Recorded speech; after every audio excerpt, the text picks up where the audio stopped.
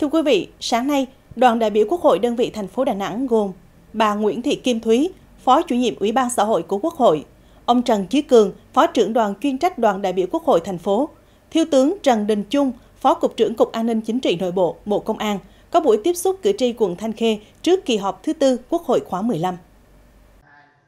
Theo đó, kỳ họp thứ tư Quốc hội khóa 15 dự kiến khai mạc vào ngày 20 tháng 10 năm 2022 và bế mạc vào ngày 18 tháng 11 năm 2022. Tại đây, Quốc hội dự kiến sẽ xem xét thông qua 7 dự án luật, 3 dự thảo nghị quyết cho ý kiến 7 dự án luật khác.